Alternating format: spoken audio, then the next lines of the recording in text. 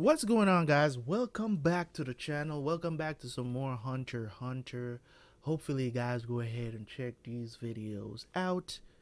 I would just like to say to you guys, man, thank you guys for all the support on the Hunter Hunter videos. I think the um the two last reactions hit a thousand views, which is unprecedented um for this channel. When I, I mean I don't want to say unprecedented um because when I was doing Ippo pretty much all my Ippo videos were hitting a thousand, um, all of them. But for Hunter Hunter, it is unprecedented um, for one, you know, super reaction, reaction, whatever, to hit a thousand views. Um, so thank you guys for that. Um, it's been an awesome time reacting to this. I love the series. Um, you know, it's in my top five now animes of all times for me um, and I'm loving the story. I'm loving the story. So, last episode, last reaction we did was a very bittersweet um, reaction because of what has been happening to Gon over time, and now he's finally gone over the top, and it's really sad to see because he's a beloved character, and you know the sense of morality that you expect from MCs is you know I love the I love the fact of of what Togashi did here because the common tropes of main characters has been kind of thrown out the window. And you know this is something that you know um, Kishimoto did in Naruto also not to this extent um, if I should say so. Not to this extent, but he did show some sides of Naruto that was that you wouldn't expect from a normal storyline or from a normal MC. You know, so um, so th- there were certain points it's like, okay, I want you to mess up the enemy. You get what I'm saying? Um, you know, but at the same time you kind of felt for the enemy. You know what i'm saying? As i said it's it, it wasn't to that extent in naruto as what we're seeing now in in hunter hunter. Like hunter hunter's writing is miles ahead of what happened in naruto no doubt about it. As i said naruto just holds a special place for me and that's why it's not even in my top five because it's always going to be number one it's always going to be number one. So I've just put it in a suitcase by itself, you know, put it aside for itself because it's that special to me where I'm like, it's in a category by itself for for me. So it's it's not necessarily in my top five animes of all times. Um, because if I put it there, it's always gonna be number one. No matter what nobody says, no matter if you're gonna say Hunter Hunter is better or it doesn't matter what you say. I grew up on Naruto, so it it makes a huge difference to me because I actually had to sit down. There's a difference between how you how I'm reacting to an reacting to to an anime that I can binge than to an anime that I have to wait a whole week to watch. This it's a huge difference. I can imagine the people who had to wait week after week for Hunter Hunter to come out when it was airing because I can bet that it was excruciating because of what I went through with Naruto because Naruto had some moments in it where you where you're like you can't do nothing but cry. I'm talking about mushy, tears falling down, you know, um, running nose. I've been through all of that with Naruto, the, the emotional roller coaster that I went through with that anime. I'm experiencing this in, in Hunter Hunter, but I can binge Hunter Hunter, so it's like, okay, this moment might be really a really sappy moment, but then I can move on from it in less than a week. you get what I'm saying? So you don't really get to sit in that moment as much. You know what I'm saying? When you get an emotional moment from from Naruto, I had to sit a whole week on just thinking about that, thinking you know, how this applies, man. It's it's crazy. But with Hunter Hunter is is you know it's very emotional. The emotional roller coaster is there, and I feel for Gon in this moment very much. So I really do feel for him because I never wanted to see him like that because he was slowly losing control, and at this moment he's not. He's he's so lost in the power that he's attained till he it's like it's like his mind is gone. You get what I'm saying? And yes, some people's gonna be like, "Oh my God, that was such a good moment." But when you actually think about what the author was trying to portray through this whole arc with with Gon, you know what I'm saying, is how slowly, you know what I'm saying, how slowly we can descend into the, the, the darkness of our feelings because of something tragic happening to us or somebody close to us dies and and all of this other stuff so great stuff man great stuff but um so yeah man the the, the match between Meruem and Netero has been concluded now Meruem is going back to the castle and you know that was a good fight and as I said before it was a teaching moment but the teaching moment for Meruem was with Netero's fist and he had a duty to perform and he did it to perfection, I believe. Um, he, he tried to kill Meruem, and Meruem was messed up, man. If he didn't have the King's Guard, he would have died. He would have died for sure um, from the from the nuke. So I thought he would have tanked it, but man, he got messed up. I'm surprised he wasn't like just ashes to the way how they took him out when they when they saw him and stuff. So let's go check this out, man. Let's dive into it. 132. I'm gonna try to get to that. That you guys said, um, you know, 135 is a really, really sad moment, guys. When you tell me that it is going to be a sad moment, that means I'm gonna prepare to not. I'm gonna prepare myself to not cry. I don't like crying on camera. You think I like crying in front of you guys? I don't like crying in front of you guys, man.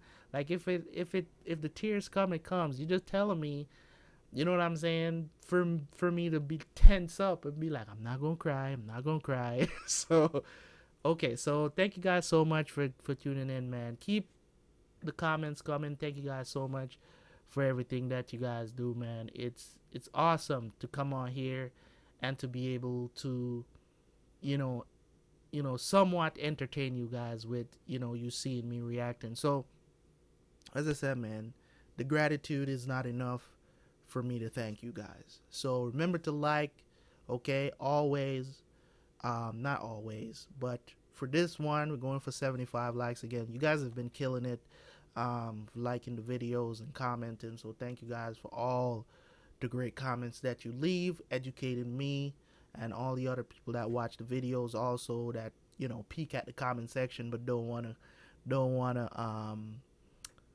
say nothing. but anyways, man, thank you guys for tuning in. Let's go watch this. Let's go do this.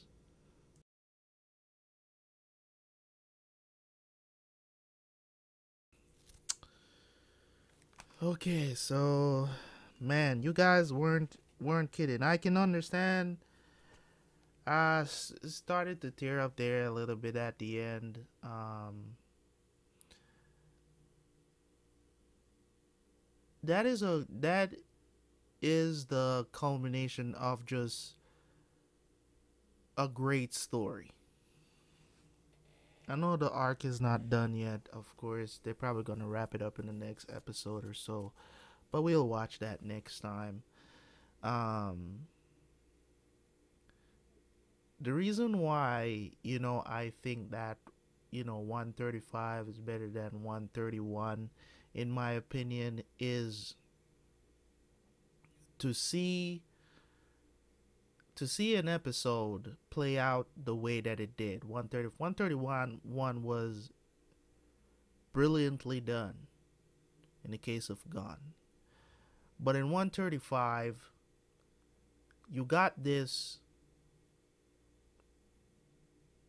I don't even want to call him an antagonist anymore because he's really not an antagonist in the grand scheme of things.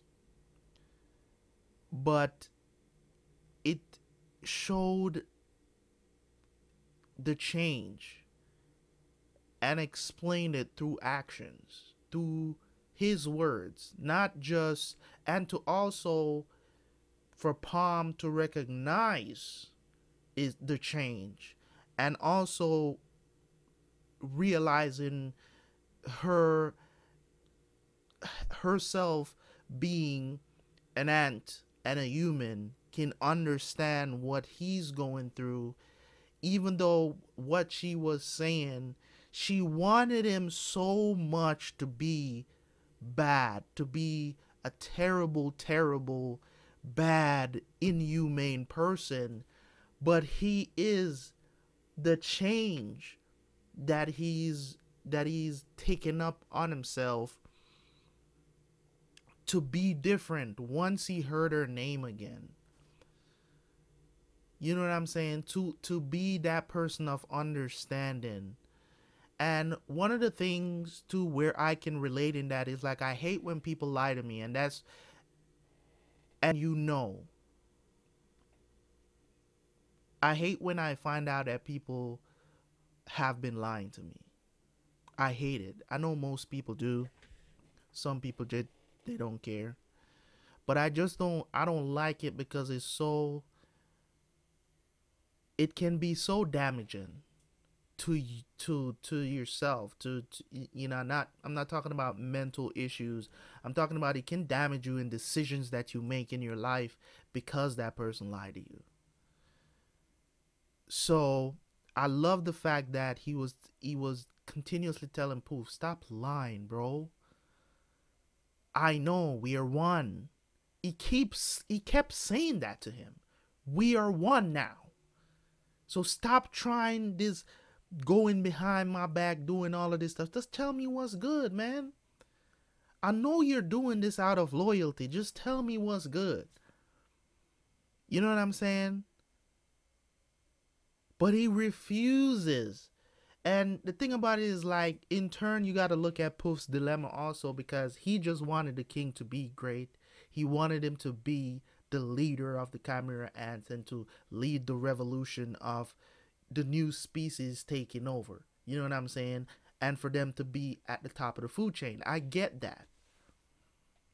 But what I don't get is that why can't he decide what to do? Because that's also a, a, a, another thing that goes into that you can pull from this is also making decisions for yourself, man. No matter what. You know, a lot of times people are born to do certain things. You know what I'm saying? And they feel like they have this obligation because oh, my mom my mom is pushing me to do this or my dad is pushing me to do this or my friends are pushing me to do this when it's not really what I want. He found something that was more important than being the king. And that's what Poof was afraid of. he didn't want him to become so humane to the point where he forget that he has this monumental um responsibility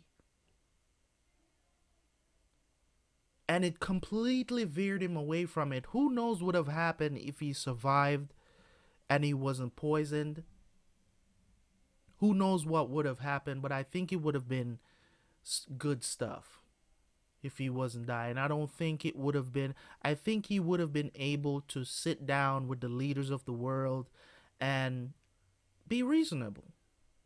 You know, but at the same time, it will also create an atmosphere of um loyalty because of fear. You never want to scare people into serving you and to be of service to you. Never. You never want to rule people out of fear.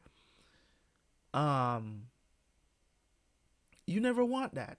And I don't wish that on anyone. I don't want that to happen for you to be under no leader that's like that.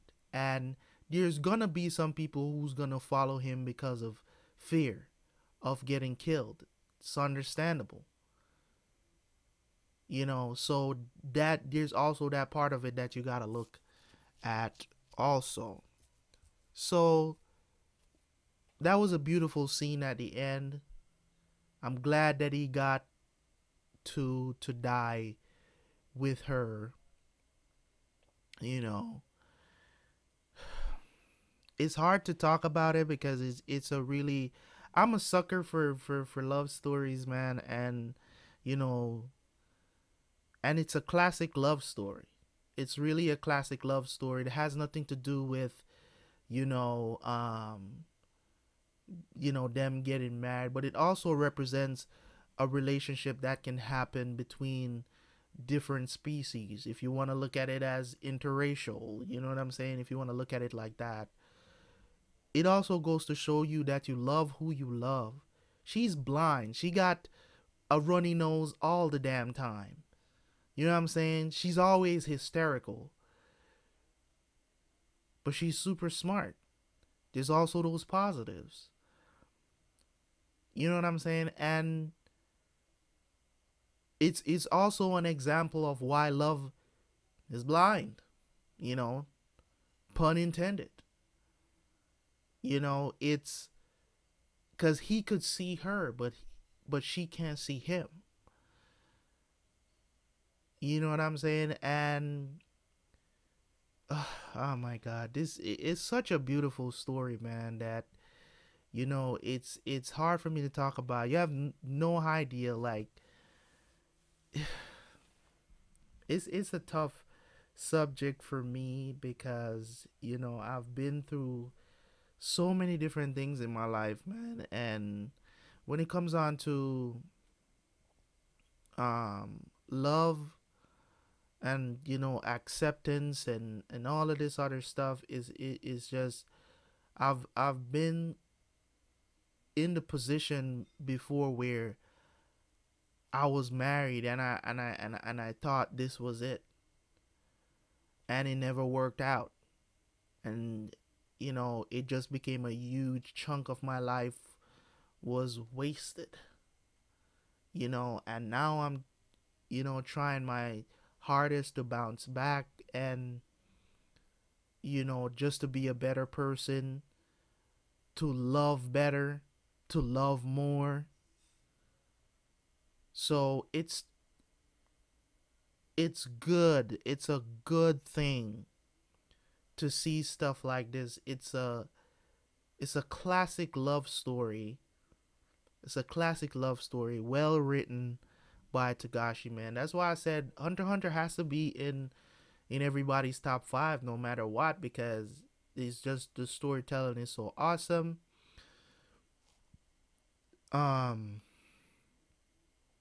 I don't know if I would say that this arc it's definitely one of the greatest arcs I've ever watched of all the animes that I've watched. It's one of the best arcs that I've watched where there's so many different meanings to it. It might be the greatest one I've watched, but I don't want to say it is just yet because if you're going to put it if you're gonna say all categories of what took place during the arc, you know, happiness, sadness, everything that we've experienced over these past what is it like uh about 40 50 episodes. I don't i'm i don't even remember when the arc started but about 40 episodes. I want to say about about 40 because i think we started in the 90s or the late 80s or something like that. So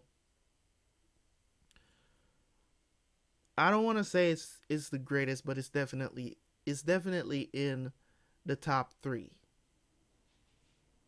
that I've seen. There's some really really great arcs in in in Ippo. Not love, you know what I'm saying? Not love story like that, but I'm talking about well written arcs that really had me. And if you guys go back and watch remember at the end of Ippo, I was crying because I couldn't hold it in. I couldn't hold it in because I felt like I was losing a part of me when the anime was over. And the way how it ended with the the story of um Kamogawa um backstory, right? Kamogawa Kamogawa's backstory. Um it was a very touching story because you get to understand who he was and why he's so intense and why he kind of hides his feelings a lot too. So it's it's just oh my god this this this anime is great guys i can't i can't like i could sit here and gives you a, a ton of adjectives you know to describe this anime and this arc that we just watched and you know i'm not a a boo-hoo crier but it that definitely it definitely got it got to me I did almost cry. I was sitting here and you have no idea. I'm listening to what's going on and I'm feeling it. My heart is bu- beating faster. You know what I'm saying? I'm swallowing my saliva. I'm doing everything that I can to not cry, cry on camera. But if it's too overwhelming, it does come out. Um, but you know, my eyes did get watery you know, and you know, I was trying to, I was holding it back. I was like, "You're not gonna cry. You're not gonna cry. You're not gonna cry." But it was great, man. It was good. Thank you guys so much for suggesting this anime once again, man. I didn't know that Hunter Hunter was this good. I've, as I said before, I started to watch Hunter Hunter, and I got up to the to the Hunter exam arc, and I stopped watching I stopped watching. I don't know why I stopped watching at the time. Maybe it's because I was maybe in the process of moving. Maybe I I went through a lot. okay, in in my twenties, I went through a lot. You know, bouncing back and forth from place to place. I think one time I was living and I had no internet and stuff like that. So it it's no. I I used to have to go to the the library to use the internet at one point. Um, because for some reason this apartment complex that I was living in at the time, they the the cape the the internet service, we couldn't get internet service there, which which it bothered us so much at the time because we had to either go to the library to use the internet or we had to leave the house if we wanted to to use the internet. So that was kind of like it it was tough. Um you know, because the service we wanted, we couldn't get it there. And I mean, it does change now because this was like, I want to say probably around 10 years ago. So, um, so I'm pretty sure that that apartment complex must be, you know, because they were like, oh, we soon have it. You soon be able to get internet and stuff like that. You know, there were promises, but they never came through. So thank you guys again for tuning in, man. It's been great. Thank you guys so much for watching these reaction, for supporting these reaction. Hopefully, you guys, um, you know, you understand where I'm coming from when it comes on to this story. Um, we still have some more episodes left. I think uh, probably around ten episodes. I haven't checked, but um, thank you guys so much for tuning in. i I'm definitely looking forward to see what is going to happen next. So remember, guys, to like, leave a comment, and also if you're new, subscribe to the channel. There's a lot of people watching this channel that's not subscribed. Subscribe to the damn channel, man. What y'all waiting on? Y'all know I'm the I, y'all know I'm the real deal. What's good? You're a Tera Squad. I am Mr. Terabyt Reacts, and I will see you guys next time. Peace.